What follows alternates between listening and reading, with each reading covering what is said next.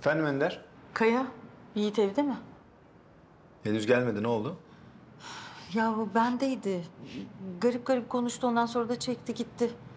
Arıyorum cebi kapalı. Şu saate kadar çoktan eve gelmiş olması lazımdı. Nasıl yani garip konuştu? Ya bu evlilik meselesinin olamayacağını söyledim ona. Ama çok sinirlendi. Bir daha beni göremeyeceksiniz filan dedi. Yani kafasını dağıtmak için gitmiştir bir yerlere Ender. Panik yapma hemen. Ya bence biraz daha bekleyelim ondan sonra konuşuruz. İyi haber alırsan beni ara mutlaka. Ben yine aramaya devam edeceğim tamam Sen de haber alırsan ara beni. Ne diyor?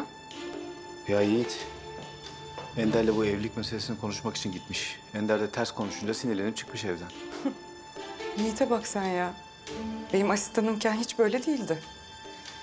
Ender hemen kendine benzetmiş çocuğu. Şahika, Yiğit'in kafasında çözemediği bir sürü soru var. Bir yandan ben, annesi Lila. Ben onu hemen hizaya sokarım abi. Sen hiç merak etme. Çocuk çocuk hareketler. Hadi gel yemeğimizi yiyelim. Sen ye ben bir şey yemeyeceğim.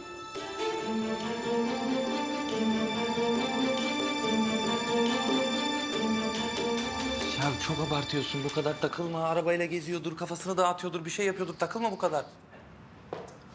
Yok benim içime kurt düştü Cener.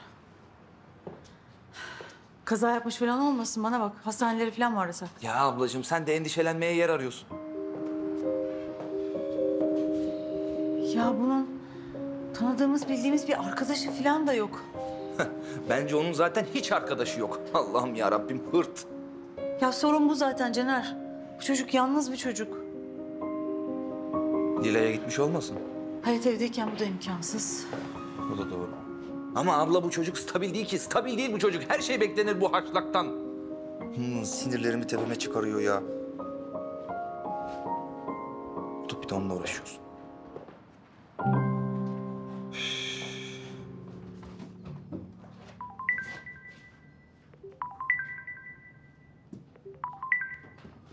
Alo, Erimci, iyi misin canım?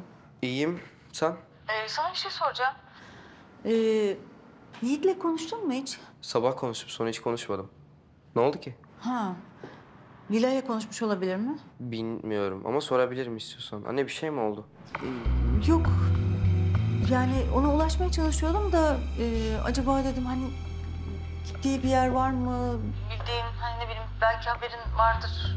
Evi vardı ama kapattı diye biliyorum orayı. Ha. Tamam. Okey. Bir haber alırsan beni arar mısın? Anne bir şey olmuyor değil mi? Yok yok. Yok hiçbir şey yok merak etme. Emin misin? Tabii tabii ben zaten konuşursam sana haber veririm. Tamam. Babay canım öpüyorum aşkım. Cener. Yürü gidiyoruz. Benim için rahat etmeyecek. Ne oldu? Nereye gidiyoruz ya? Ya Erim e, evi kapatmış olabilir falan dedi ama belli mi olur orada olabilir. Benim içim rahat etmeyecek. Yürü. Kaya'ya haber verdin mi? Yoldan ararız. Yürü. Yiğit! Yok. Evde de yok. Kaya. Ben gerçekten çok korkmaya başladım artık. Ender tamam korkma. Bir şey olsa haberimiz olur zaten. Sakin ol. Abi bunun arkadaşı falan yok mu gerçekten? Ya okulda görüştüğü birkaç arkadaşı var. Ben de hocalarından birkaçını tanıyorum. Onlarla konuştum. E tamam adresleri varsa ver bana ben gideyim oraları da bir kolaçan edeyim. Ya haber verecekler bana. Mesaj gelecek zaten. Cener bak adresler gelir gelmez hemen git tamam mı? Lan ne oldu bu çocuğa ya? Ya başına bir şey geldiyse Kaya. Ablacığım tamam sakin ol korkma. Olamıyorum işte. Lila ile konuşmuş mu? Lila ile konuşmamışlar. Zaten araları kötü. Hep o Lila'nın yüzünden bu zaten. Ah, tam kaynanalık yapacak zamanı buldun ablacığım Bir ya. dakika, bir dakika. Mesaj Dur geldi. Caner ya. Mesaj geldi. Adresi göndermişler. Caner gönderiyorum sana hemen. Sen buraları kolaçın et tamam mı? At abi tamam. Cener hadi vakit kaybetme. Hadi canım benim. Acele et. Biz nerede arayacağız? Nereye gideceğiz? Ya başına bir şey geldiyse? Ender, lütfen sakin ol. Onu bulacağız, tamam mı?